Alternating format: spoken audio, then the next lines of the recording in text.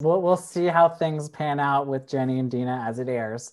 But I mean, have you spoken with Nicole at all? And I mean, if you haven't, what would you want to say to her at this point, if anything?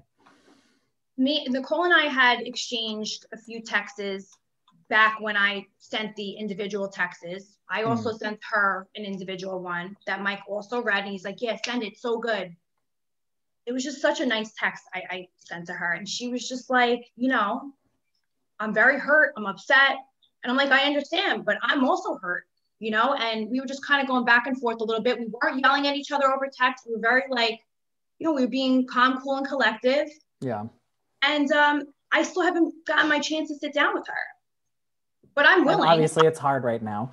I know. Well, she's is not filming anymore, unfortunately. Yeah. I mean, listen, I would love to sit down with her. I really would love to have that chance to sit down with her and see where she's at, see where I'm at. Let's try to hash things out. Let's try to put everything on the table.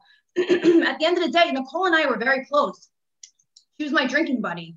Like I, every time I'd go out, and we were the last we were the last man men standing. Like me and me and Nicole were just fun and like you know even in new orleans we were cute we slept in the bed together we were out to like six in the morning gallivanting around new orleans it's really unfortunate right now. So whenever she wants to, I'm here. I'm willing to sit down.